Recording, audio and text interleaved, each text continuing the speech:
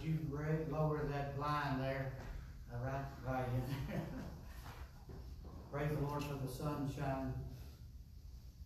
Thank you, Nathan, so much. That's one of my favorite songs. Abide with me. What a precious truth. Turn to the book of Second Chronicles, chapter 30. The book of Second Chronicles, chapter 30. Have you ever been laughed at or made fun of? I have.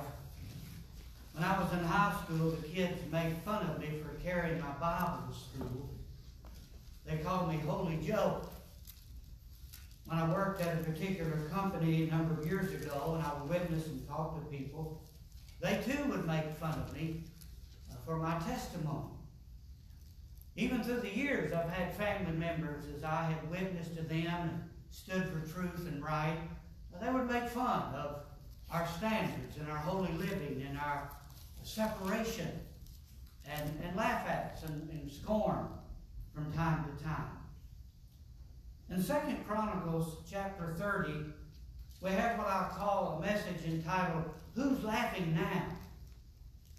Who's Laughing Now? In Second Chronicles chapter 30, King Hezekiah sends out a letter to all of Israel and Judah. And as he sends out this letter, I call it, maybe we could entitle this sermon, I usually like a couple of titles, The Laughing Letter. Because when people get this letter in the mail, not everybody, but there's a number of people, they read this letter and they burst out laughing. They, they burst out mocking and making fun of. Look in uh, chapter 30, verse 10, it says, So the post passed from city to city through the country of Ephraim and Manasseh, even unto Zebulun. They laughed him to scorn and mocked him. So, what did this letter say? Well, in short, this letter said, we're going to turn to the Lord God Jehovah, and we're going to have a Passover, and we're going to seek the Lord. So when people got this letter, they just started laughing. Who does he think he is? Who does he think we've been worshiping? You remember they had set up the uh, brazen serpent that uh, the Israelites, remember, that God told them under Moses, to look at the brazen serpent and they would live. Well, Israel had set that serpent up on in, in uh, the land and it had become an idol. It was called Nehushta. They had heathen gods, idolatry, immorality. In fact, his father had had uh, worshipped uh, idols and set even his children as human sacrifices to these heathen gods. And we'll look at that in just a moment. So you can imagine the mocking, the laughter, and making fun of King Hezekiah when he sends out this letter. We're going to do what? We're going to worship who? We got our gods. We got our practices. We got our lifestyle. We don't want to change. So they're mocking him and making fun of him. King Hezekiah. But tonight, in the moments that we have, I'm going to try to be quick. Famous last words. I want to look at his parents. I want to look at his Passover. And I want to look at his praise. This man, Hezekiah. As we look at these three truths about this man who sent out this laughing letter, I want to look at his parents had a great impact on his life. His parents had a great impact upon his life. Who was King Hezekiah's father? Well, if we look back in your Bible, a couple of chapters, we find in chapter 28 of Second Chronicles that his father was named Ahaz.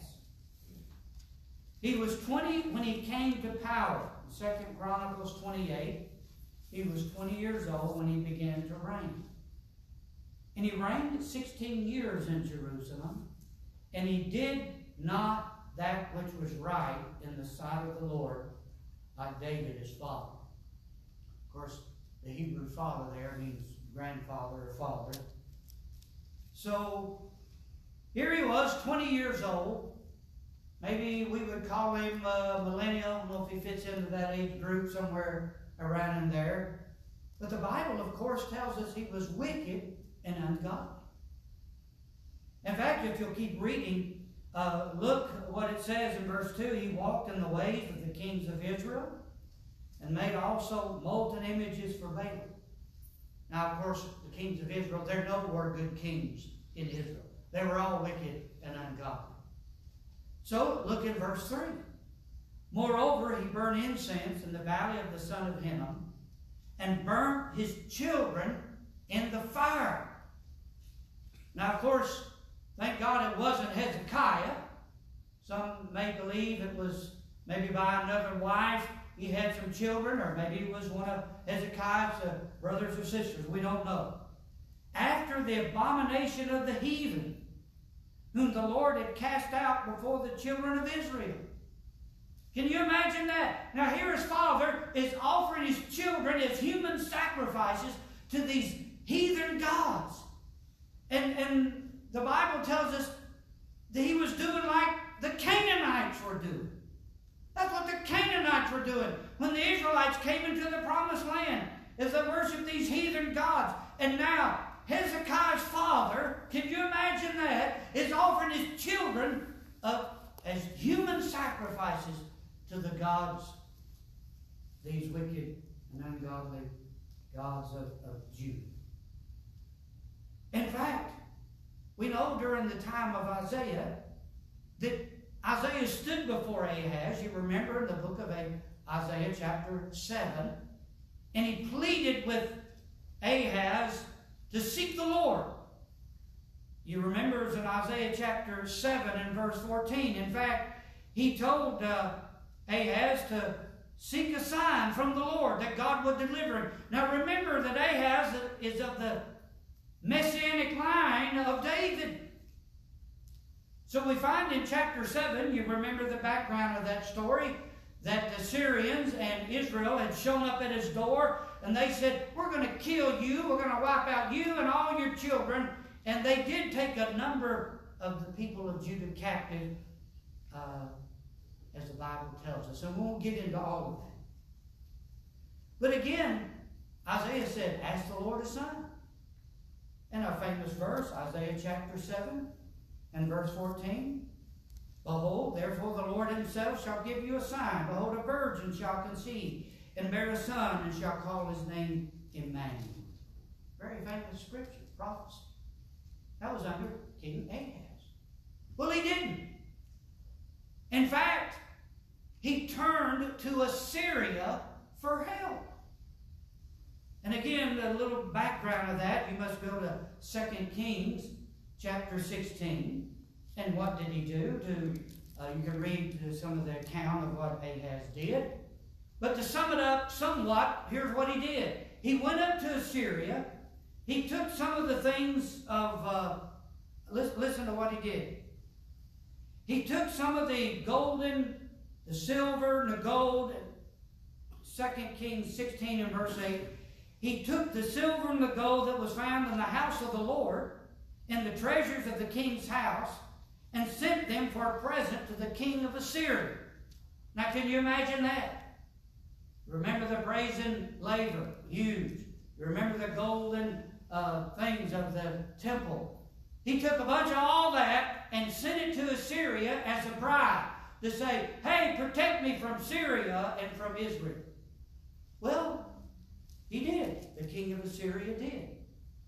But he also, Ahaz, went up there, visited him, and saw one of, one of his heathen gods came back to Jerusalem and made a god like the king of Assyria had and made Israel worship that. What I'm telling you is, this is Hezekiah's father. You think you can't get much more wicked, ungodly than that.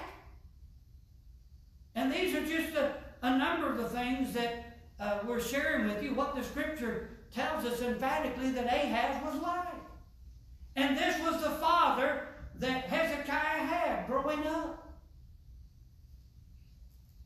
But as we see in chapter 30, and also is recorded in Kings, and Hezekiah comes to rule at the age of 25, I mean, he steps on the scene and brings a revival and a Passover and the, the Feast of Unleavened Bread to the nation of Judah.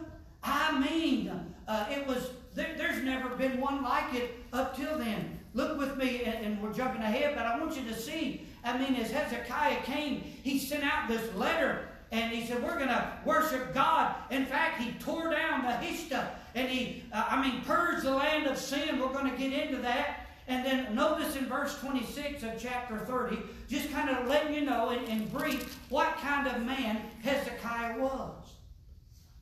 So there was great joy in Jerusalem, for since the time of Solomon, the son of David, king of Israel, there was not the like in Jerusalem. Then the priest of the Levites arose and blessed the people.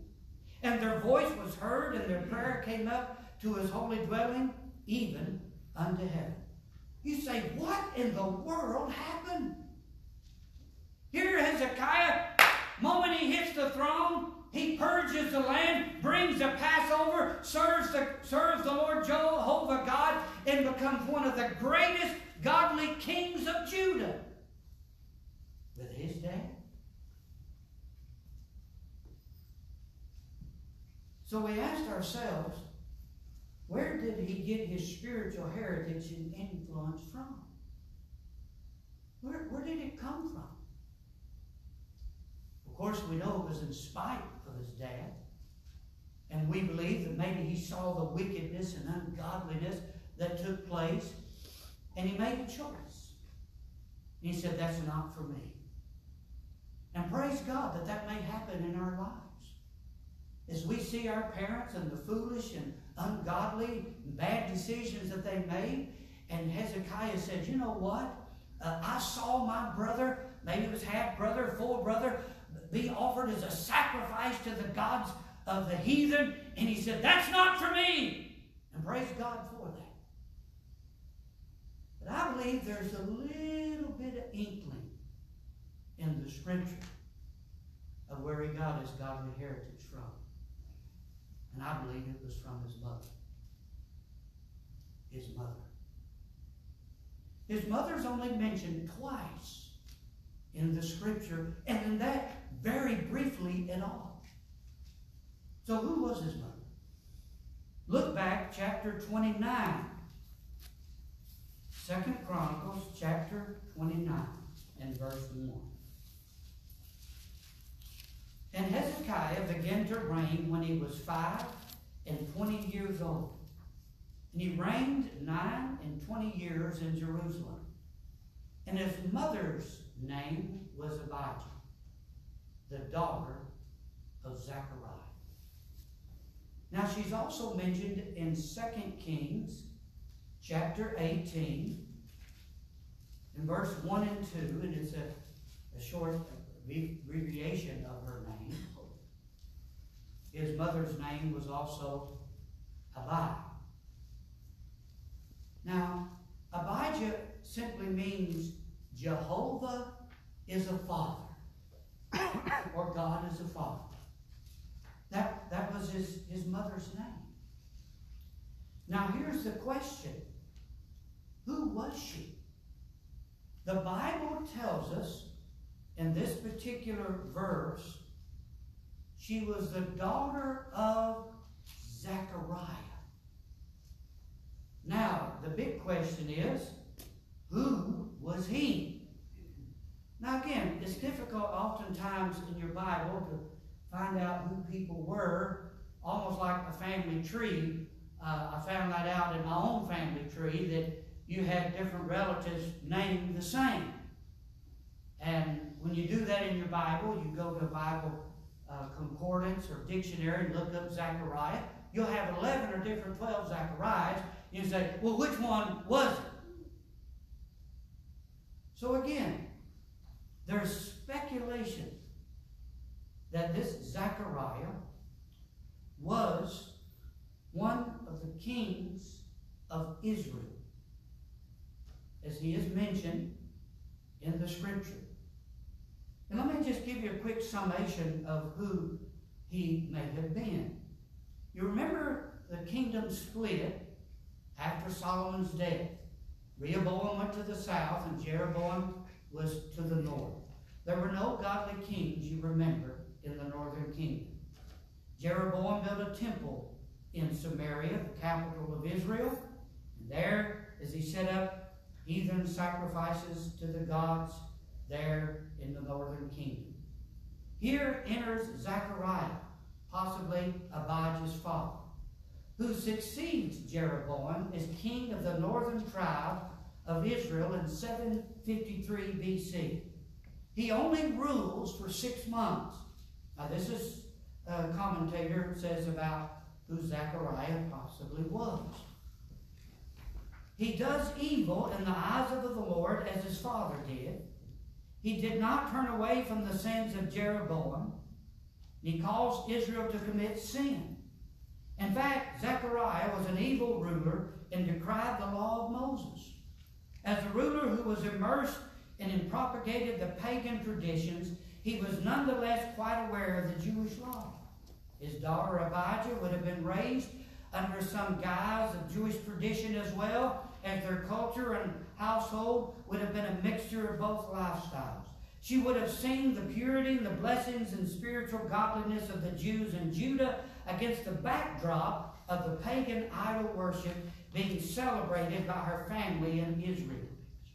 Abijah would have discerned how the further away the people and her father the king went from God's law, the further the people of Israel slid into a life of depravity and evil.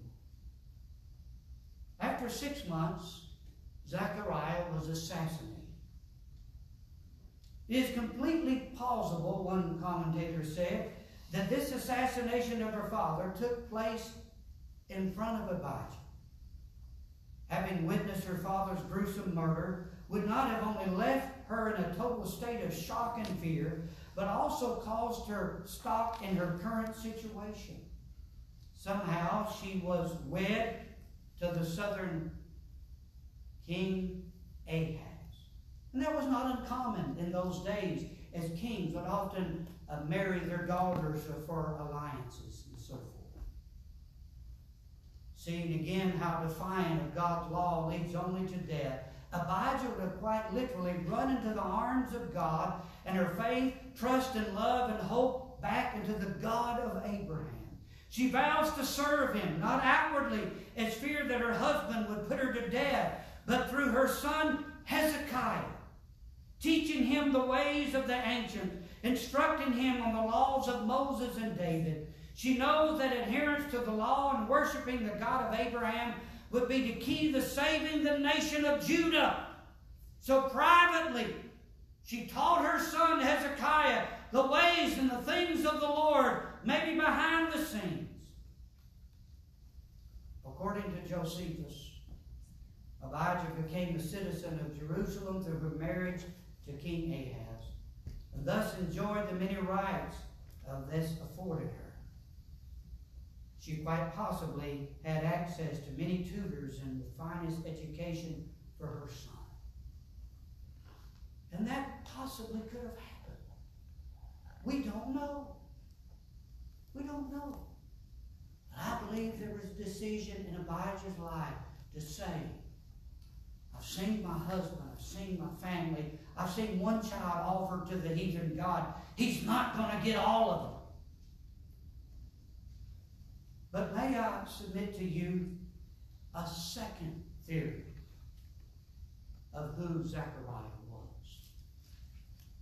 And again, both are plausible.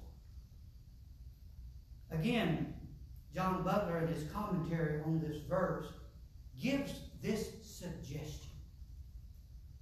Again, as we look into the scripture, look at Second Chronicles chapter 26. Second Chronicles chapter 26 and verse 5. Now this is under Uzziah, the king of Judah. Now he reigned, as we know, for many years, from 783 to 742.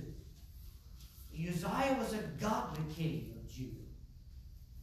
And underneath his reign, notice there's a man, a counselor, a priest, and he sought God in the days of Zechariah, who had understanding in the visions of God, and as long as he sought the Lord, God made him to prosper.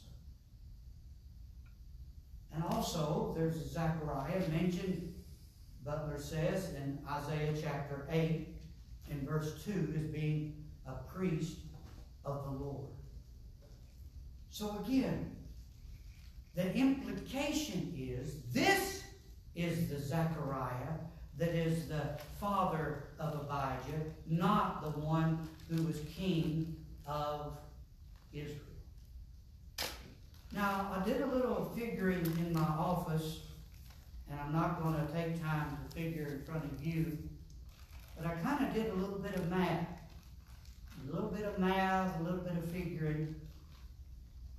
And according to the timeline, it seems like to me that John Butler is right. Because when you do a little bit of figuring of the kings of Israel and the kings of Judah, and realize that it probably fits a little bit better that Ahaz, being a king of Judah, would have married uh, a woman from Judah rather than Israel. And there is a probability that it was Zechariah and that Abijah had a godly heritage. How did she get mixed up with a wicked man like Ahaz? Again, the scripture doesn't tell us.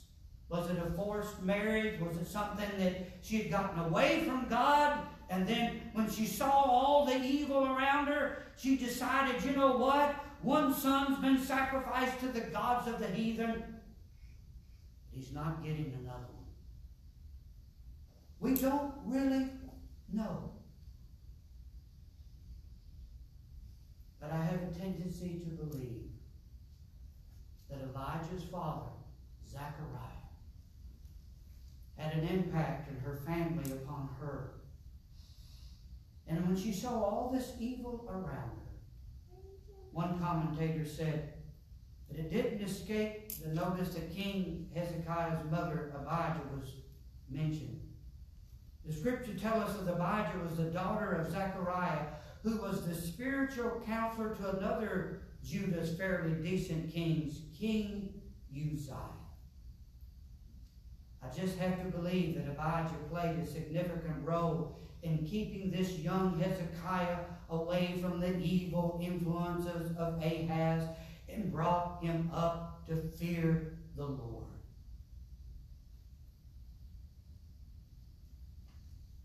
We don't really know. But I believe in some form or fashion there was an influence of Hezekiah's mother as she possibly influenced Hezekiah to the Lord.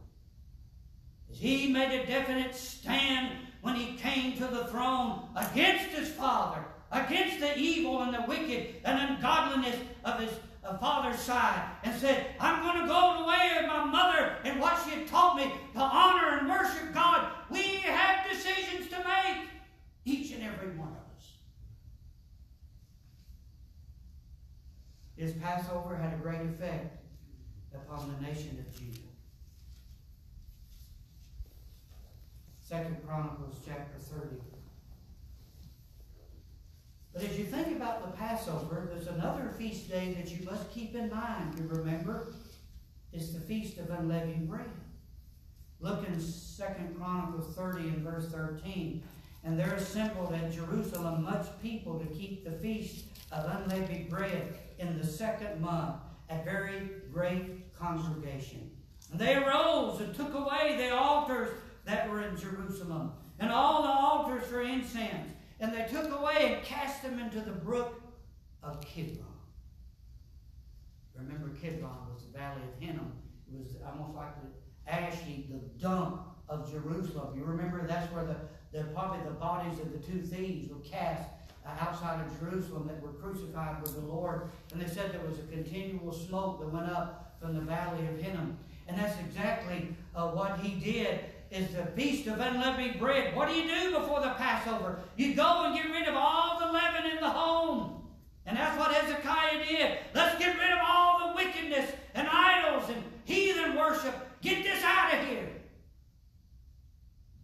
In 2 Kings 18 and verse 4 says, And he removed the high places and break the images and cut down the groves and break in pieces the brazen serpent that Moses had made. For on those days the children of Israel burned incense into it.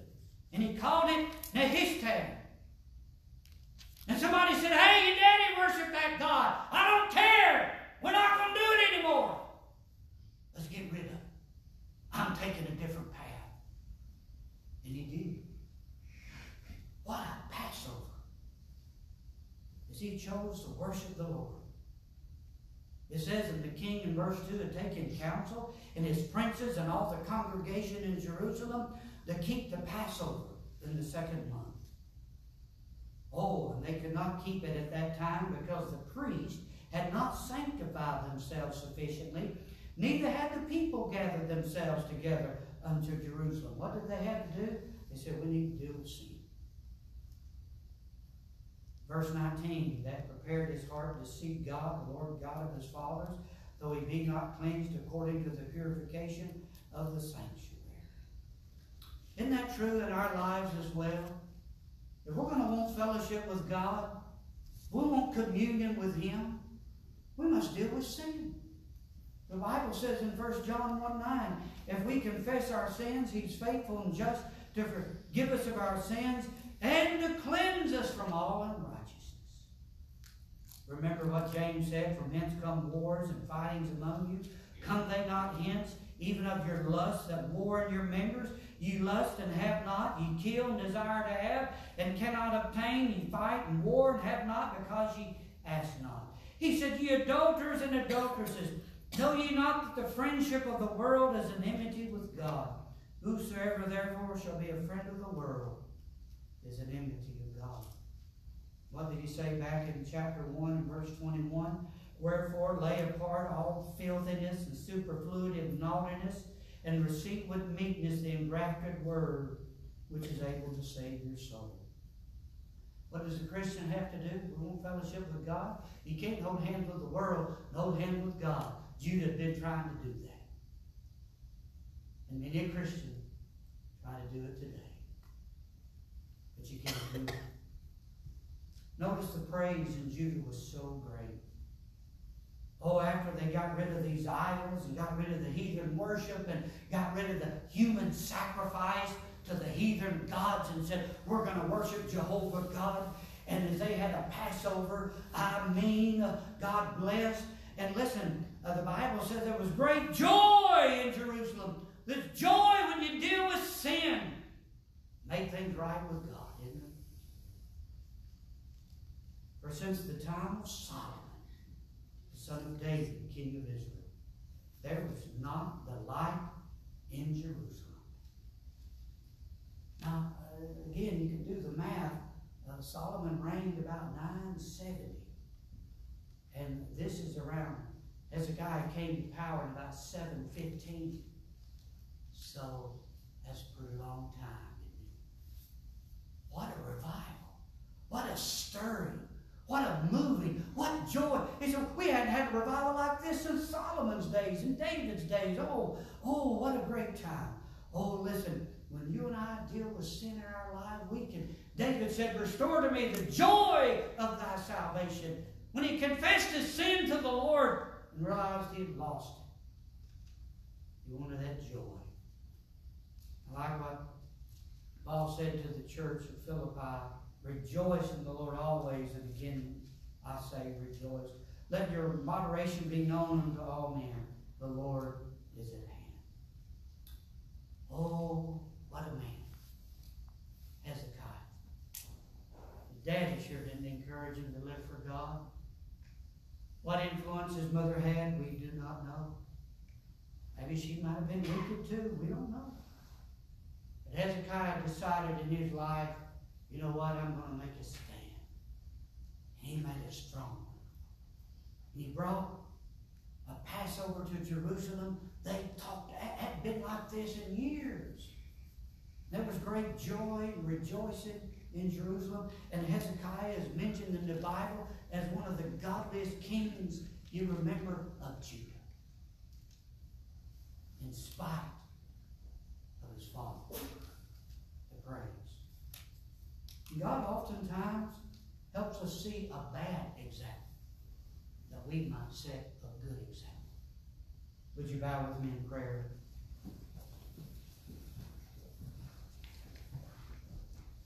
The laughing letter, you could call this sermon. But I could say, who's laughing now? Who's laughing now? The people are rejoicing. The streets are full of laughter and joy. And there's been uh, cleansing and purging. There's been a Passover like you've never in several hundred years. Oh, how God is blessed. Who's laughing now? You know, as you make a decision to serve God, you see those who don't, you can say, you know, they chose a bad and ungodly path, and I look at my godly heritage, heritage, and maybe you can look at yours and say, praise God, I'm glad I'm on the right path. Lord, help us in these days in which we live. Choose to serve the Lord like Hezekiah. He made a definite stand, and that stand went against his heritage. We're glad he did. Help us in Jesus' name. Amen.